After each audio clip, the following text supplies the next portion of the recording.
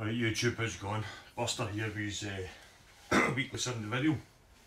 I know I keep saying I'm going to do one about the the Aria Pro 2 IGB SPT and tell you all about that but usual I end up getting myself another bass. So story behind this is I had a Telecaster kit guitar uh, that I got swapped for a Peavey, I've got a video on the, P, the Peavey uh, BXP milestone.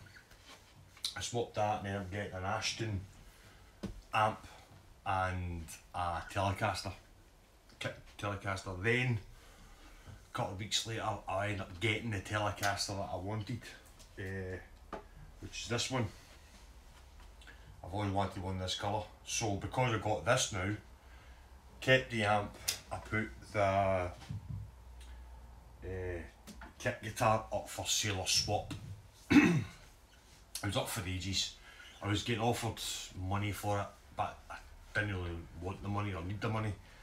Uh, I just wanted to swap for a bass. So happened to uh, get a message off a guy, I can't remember what day it was. I'm going to say it was Wednesday night I was down working in Cramlington, just outside Newcastle. So I said to the boy, obviously I'm up road Thursday night if you want to come. So he came Thursday night, swapped this. Uh, when I got it, he all had two black uh, knobs on it. but I put gold ones on it, as you can see. Uh, gold knobs on it because it's got a brass nut. Uh, five string when I first seen it, I thought it was a Tanglewood Rebel 5K.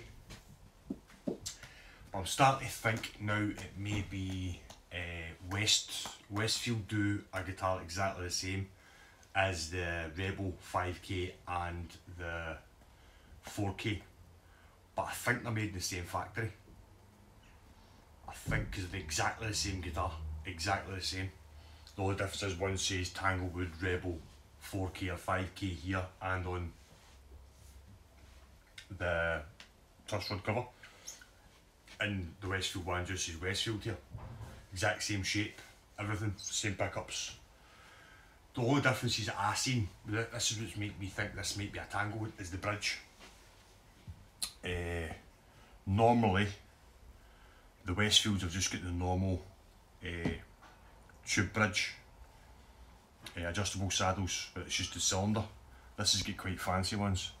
And I've seen an early Rebel 5K with this exact same bridge. So unless they've changed the bridge over, I don't, I don't know. I don't know what this is. I don't know if it's Tanglewood, and I don't really care to be honest with you. Uh, it's made out of plywood. Uh, that's kind of what's making me think it might be a Westfield.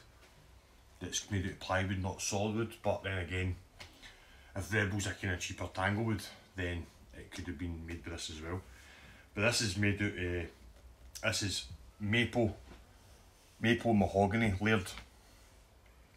So it's just like your normal plywood or your marine ply, except obviously bigger, bigger veneers glued together. But this is uh, maple mahogany. So yeah, I'll let you see that a wee bit. And uh, man, I'll do a wee quick video today. So So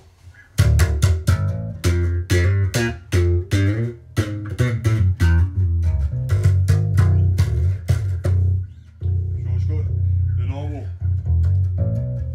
P-bass set up. The P-bass pickup. So it's got a master volume for the P well, it's got volume for the P-bass pickup, volume for the jazz bass pickup and a master tone.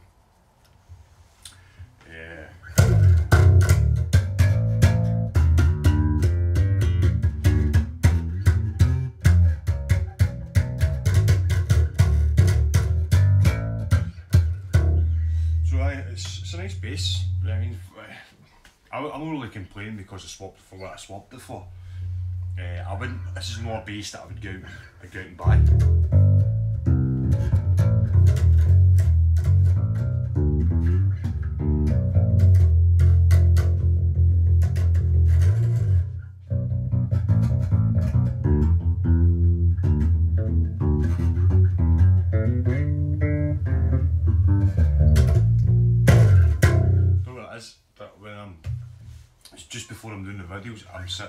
Playing away quite the thing, slapping and popping and fingers, and the minute I'm in front of this camera, it just goes to pot.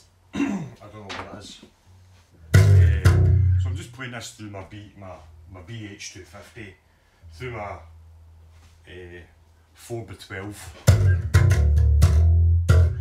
And this is uh, tunes B B A D G.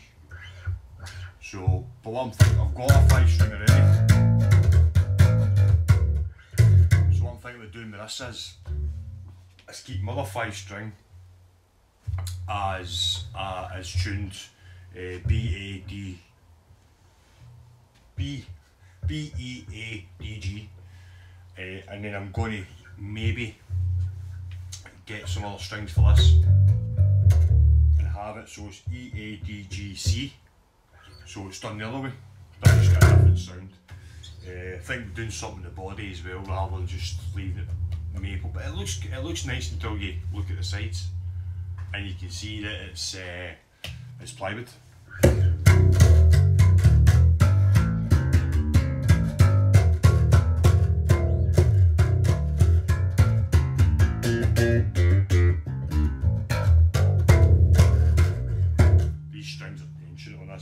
Rusty. I've ordered a new set of just normal five string strings for both guitars.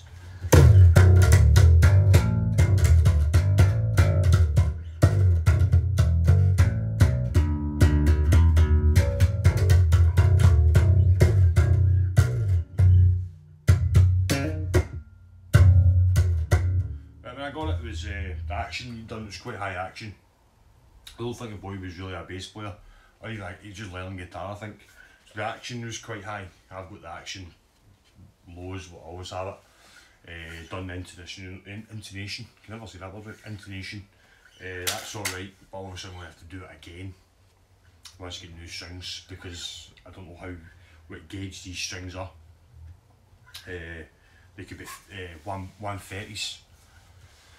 One thirties forty fives, or they could be one two fives by thirty fives, or I don't know. So we just need to re set it up once to get new strings. I'll stick uh, Brooks on this. I'll not be putting I'll be putting uh, Rotosound in this because I'm not a big uh, five string bass player. I prefer four string. You can see the kind of the resemblances of the shapes. These are kind of uh, this kind of shape came out in the, maybe the, the kind of late nineties when they kind of came away from the P bass and jazz bass shape and they were kind of doing so a, a lot of guitar companies took this shape on. Uh, that's that brown guitar in the background. You can see that's just a, a generic bass that I, I picked up years ago. Uh, the body was all damaged. I made a new body for it. Uh, the one next to it's a Washburn that I got off of Mad Malco. The fret from about probably the from the 14th, 15th fret down, the board's actually sitting like a ski slope. Because whoever put the screws in has put it in and it's pushed the fretboard up. So I'm going to do that and then I've got a Starfire that I'm looking for a new neck for. and The neck the next knacker on it. But I actually bought that just for the pickup for my Billy Sheehan. That's all I bought that for, so that's just a if I get a neck for that, I get. If I don't, I don't. but definitely next week, what I'll do is I'll uh, definitely, if I don't get a guitar in between now and next week,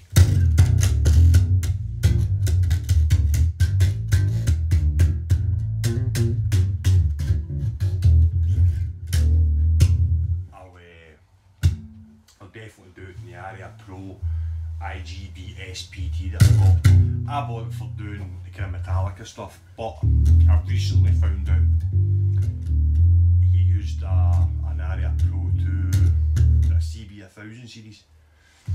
That isn't. it's it's black. It's all black, but it's from the same kind of era.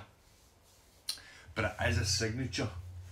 It is a signature bass that I found out. So I'll get more information on that Aria Pro 2 and I'll do that next week. If I'll get who who's I've never heard him. I don't know who it is. I'm just looking for more information on it because it's not a it's not a, a modular bass you get here.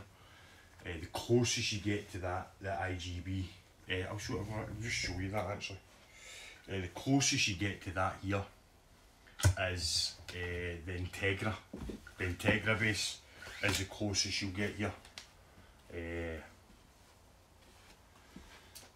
don't know if it's a Japanese model or not. Uh, hard to say. Doesn't say made in Japan on it, but it is in the, the Japanese catalogue. Uh, it's an unusual. It says IGB SPT, and the closest one I've seen from Korea in the Korean magazine is the Integra, and it says Integra across there. But this this isn't an Integra. uh, it's got a it's got a shaped body which the Integra hasn't got. The, the Integra is the same, I think it's the same thickness all the way through. This has actually got a, an arch top, or a calf top, if you want to call it. Uh, some wanted to put the jack plug at the back. I put it back to where it should be. Uh, somebody gave it the old snake bite, which is these screws at the back here. These are different lengths because of the shape of it because of the shape of the, the neck, where the neck goes in. And it happens quite a bit. so what happens is when they take the, neck, the neck off for some reason to shim it or whatever they're doing with it, they put the screws in back to front. So they put long screws at the bottom and then short screws at the top and they end up piercing through here, giving you the old snake bite. And that's what's happened to that one, that Washburn, except rather than the screws coming through, the screws lifted the fretboard and started to lift it off the neck. So this is a nice guitar. I, I swapped this for for a vintage jazz bass. I didn't need another jazz bass. I've got the 70s style one that I wanted. Jazz bass is a jazz bass in my it's nice to have a couple but the only time I would probably have maybe a couple of jazz basses is if they were proper fenders but they're not proper fenders, they'll do. So they sound the same. So that's the this is what I'm going to do a, a more in-depth video next week. So I make this short this week because uh, it's all firm today. Glasgow, uh, Glasgow Rangers and Glasgow Celtic are playing today, and it's about time for the game to be either finished or half time, and it's going to get mental. I've got nieces and nephews here that are running in and out the house because they're out playing and I won't get a chance to do the video later so I'll squeeze it in just now. So this will be next week's video. I'll get the exact I'll get the exact specs and I'll tell you whose signature bass it is because it is a signature bass. Uh, but I just don't know what it is. But I bought it because it looks more like it's kind of close to uh, Cliff Burton's probably the closest I'm going to get to a Cliff Burton style guitar. So I'll leave it there because says the kids are coming running in and out we'll get a chance to do it later. So stay safe, hopefully we're out this lockdown crap soon. I heard it's the end of April I think, going back to the tier system. Hopefully. So stay safe. Uh, I'll see you next week. I'll do so says a more in-depth Aria Pro 2 video and I'll talk to you about the effects that I've got down here that I use for doing Metallica stuff. So stay safe guys, uh, carry on.